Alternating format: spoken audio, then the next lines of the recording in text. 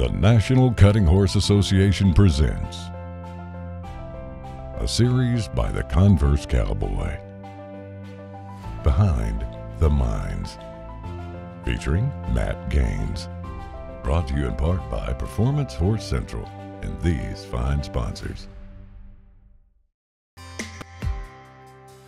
NCHA has always been very important part of my life. Most importantly because um, at a very young age I lost my mother and it was this community, the NCHA community and the families and the friendships and everything that just kept me level and kept me focused on, on goals and they became my family, literally. I feel very close to so many people in this organization. Mr. Matt Gaines, here we are. We're in October of 2021, and the NCHA Futurity is right around the corner. One of the biggest shows of the year in the cutting horse industry. What is Matt Gaines' mindset right now? My mindset, I try to keep it pretty much the same all the time. And what I've learned over the years is the more simple I can keep my approach every time I work a horse, the more success I have.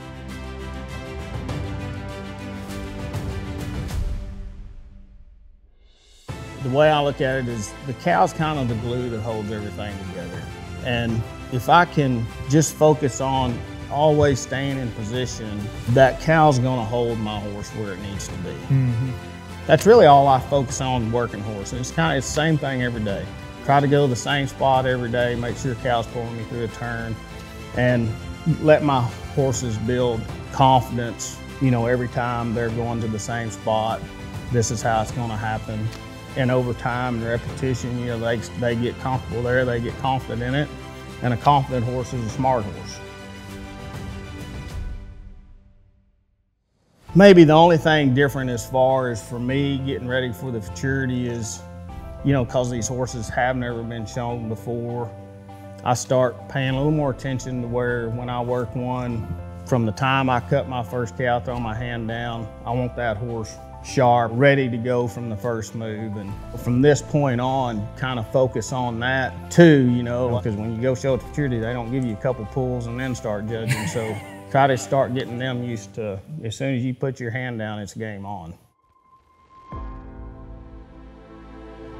So you got to be riding high right now. You're leading the world standings. How does that play a factor in going into the futurity? I've, I've been showing a lot all year. Uh, We've been hauling. I've been showing two horses in the open, two horses in the novice. Every once in a while, I'll show one, five. So, I mean, like, I've been to the herd a lot of times this year. And just through that, your confidence level in showing and your awareness to me is so much better. I really feel like showing that much this year has made me a better trainer. In that I think when you're at home just training horses a lot, not showing as much, for me anyway, it's real easy to get to working on stuff that maybe it feels good, but it doesn't really mean anything when you get ready to go show that horse. And so I just, right now, I feel like I'm really in tune to how I need a horse to be when I go drop my hand.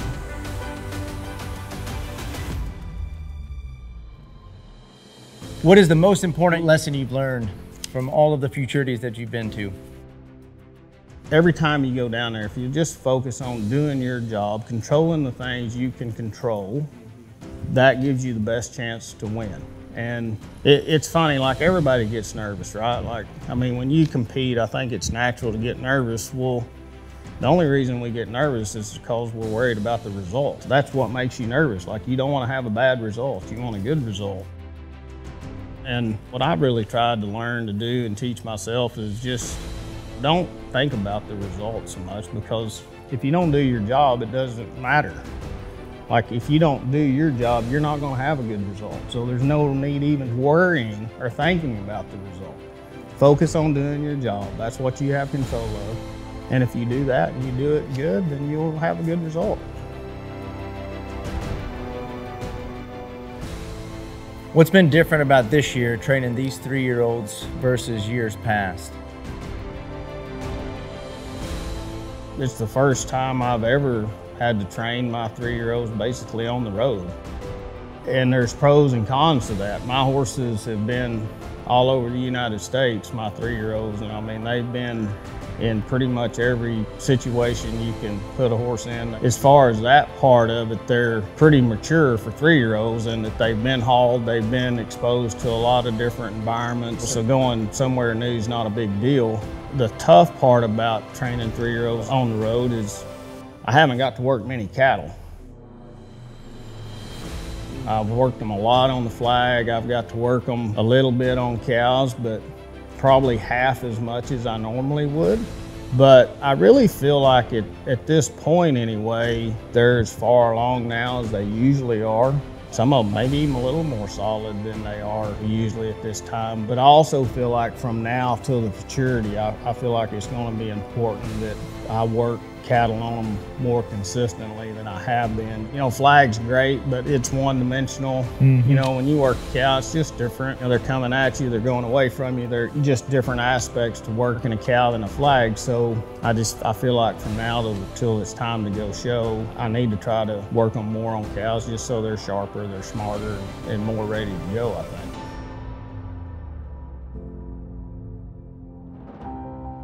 What is something you focus on outside of cutting, outside of training horses that helps you really get your, your mindset dialed in? I don't do a whole lot outside of horses, but I do enjoy playing golf. I think golf is very relatable to cutting. I think it's a lot of timing and feel. I think it's very mental. It is funny because I've been on the golf course before playing golf and just get in a mental mindset of slowing myself down and maybe softer about things or whatever it is and and something will click, you know, and I'm like, you know, I need to be more that way about my horses. I mean, and that's happened more than one time. Like it's a fairly common occurrence, you know, where I can be out on the golf course playing golf, not really thinking about working horses, but something will happen while I'm out there that'll trigger something in my mind. It's like, you know, maybe you should take this approach a little more in working your horses or showing or whatever. And it, it's always mental stuff, right? Because I mean, it's not like, you know, nothing in my golf swing is going to change about how I want a horse to work, but it's more the mental aspect of it and how to approach different things, different situations pretty easy for me most of the time to stay somewhat soft and comfortable on a horse because I've done it my whole life. Like it's hard for me to do that on the golf course because like well, I'm not I don't play golf every day. It's not what I I do, so I'm not really that confident in it. And what do you do when you're not very confident? You tense up. But still, even though when I'm playing golf and I get that way, I mean, sometimes I'll realize, you know, I'm still maybe I'm a little more tense on the horses than I need to be, or maybe maybe there's something I'm doing that's making them a little more tense and a little more rigid. It's usually somewhere along those lines that I can really apply this approach to my horses, and I think it'll help. So it's a way for me to get my mind on something else that sometimes kind of leads me to something I need to change back on my job.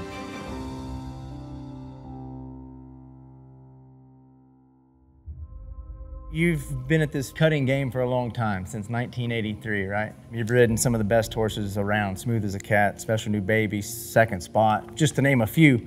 These horses that you're going to bring to the Futurity this year, is there one that stands out in your mind as an exceptional horse? You know, you never know till you go drop your hand and show them. But I, have got a stud this year that feels like as good a horse as, as I've had in a while and has a lot of the same qualities that the horses you mentioned and some others, some of the better horses that I've had. He's smart, he's mature, very well minded for a stud. He's athletic, can run stop hard, tries hard, pretty eager to please. I feel like he has a chance to be a really good horse. Futurity's such a different animal. You never know what's yeah. going to happen there. But I, I, feel real confident that this is a horse that's going to win a lot throughout his show career you know, whether he does it at the futurity or not, who knows? But but he, but I think he is a really good horse. Yeah. At what point were you like, okay, there's something special here? This horse, I didn't ride him a whole lot as a two-year-old myself. I rode him a few times. I watched him some, and when I rode him, I, I liked him. He, as a two-year-old, I was a little bit afraid he he might be a little heavy and a little too slow. But once I started riding him more kind of right at the end of his two-year-old year and as a three-year-old. And got to know him better myself and kind of develop a relationship with him and learn more about him. He's changed a lot. I think even now, still, if you just look at him, he's a beautiful horse, but, but just look at him, I don't know if a person would think he could do the stuff that he does mm. as easy as he does it. And, you know, early on this year, probably as early as January, February, I felt like this horse had a chance to be, you know, way better than average. So I hate to say any of them are special until they've proven they're special. So my term is better than average, and because I, but I do. I think he's that kind of horse. I think he could be a special individual. I think he has the talent and the mindset and all the qualities that you need to have a special horse. And mm-hmm. the rest of it's going to be up to him. I mean, is he a show horse or not? Well, I don't know yet. We'll find out.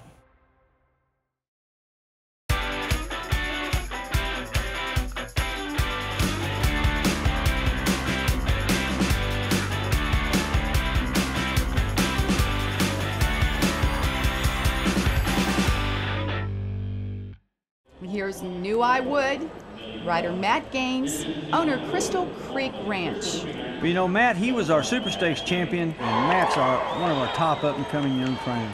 Well, he's won over a million dollars. Oh, I tell you, he did it in a short period of time, too. I was watching a run of yours back from 2001 when you won the Derby on New I Would. And I thought it was funny. I heard the commentators talking about this new up and comer, one of the top up and comers, Matt Gaines. And the lady commentator said that he's, and she sounded very excited about it, and that he's won over a million dollars, and which is an accomplishment for a lot of people. But if they could have only forecasted the career of Matt Gaines and seen the $9 million in lifetime earnings coming, the 16 Futurity finalist that you would go on to have the Futurity Championship in 16, how have you stayed so consistent throughout your career?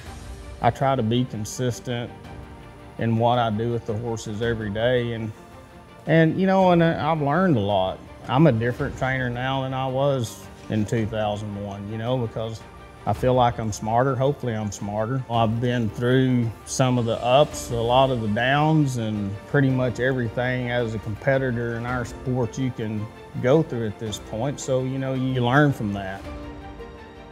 You know, nobody's ever born great, right? You right. got to go through stuff and and fail and to me, there's two kinds of people. You know, there's people that get hit with adversity and they and they give up, and there's other people that get hit with adversity and that makes them try harder. I've always been one of those people that when I lose, it makes me try harder, it makes me work harder. I don't like to lose. That drive within myself has been part of it. That when things don't go my way, I always try to figure out why and, and try to fix it and become better from it and move on. And I feel like if you do that, good things will eventually come. You mm-hmm. just have to keep working at it.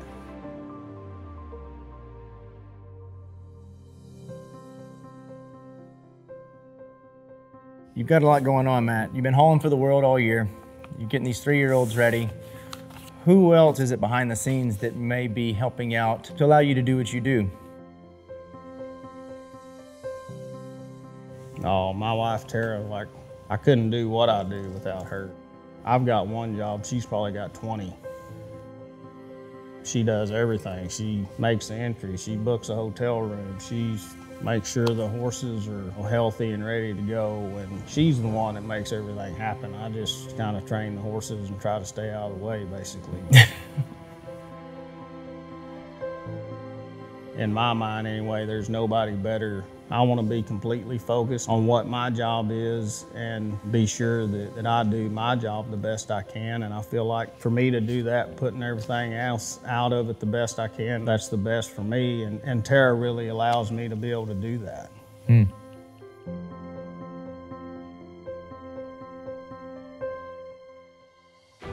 So we're going to have a couple other guys on the show, Tatum Rice and James Payne, that you're going to be facing off with at the Futurity. And I'm curious to know your opinion um, as to what those guys bring to the table as competitors. I watched Tatum and the success he's had, and I mean, he, he's just good at what he does. He has a, you know, ability to will himself into some wins, you know.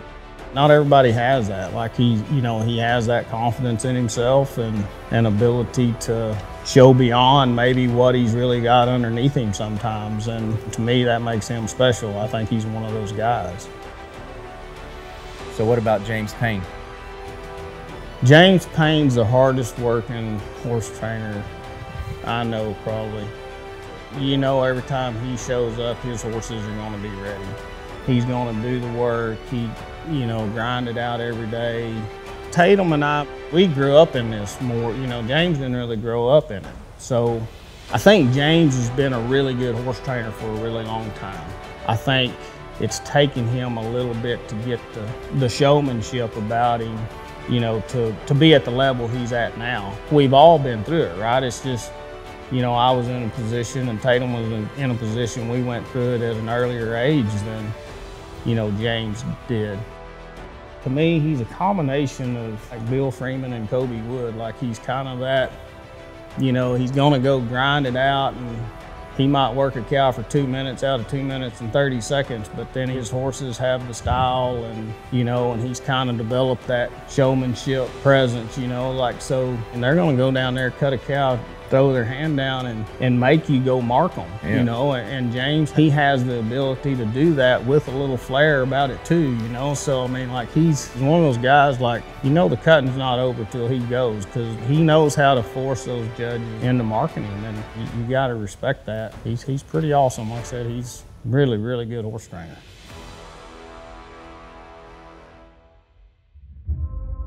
The next time we visit with you, it'll be right before the Futurity. Every top horse is going to be there. Every top trainer is going to be there. And I know you're a competitor. Matt Gaines is one of the best competitors who's ever played the game of cutting. So, how bad do you want to win the Futurity this year? as bad as everybody else does. You always want to win, right? Like if you compete, you want to win. Because for a long time, it's like, you know, the futurity was the only major event I hadn't won, right? Like I'd won everything else and some of them twice. And, you know, but I hadn't won the futurity. So that was kind of always the, you know, kind of monkey on my back kind of deal. And so for me, it's nice to not have that still hanging over my head. But at the same time, I still want to win it as much as, as I ever have. But I don't feel like it's something that I have to do anymore to, to make my career complete, if that makes sense. I think I have a horse this year that might give me a shot at it. We'll see. But I try not to think about it in those terms as winning the futurity as much as go do my job, focus on my job, make sure my horse is prepared, and the results take care of themselves. And hopefully, if I do that, maybe when it's over, I will be. So we'll see. Well, Matt, thank you for your time. And we will see you in Fort Worth, my friend. Sounds good. Thank you.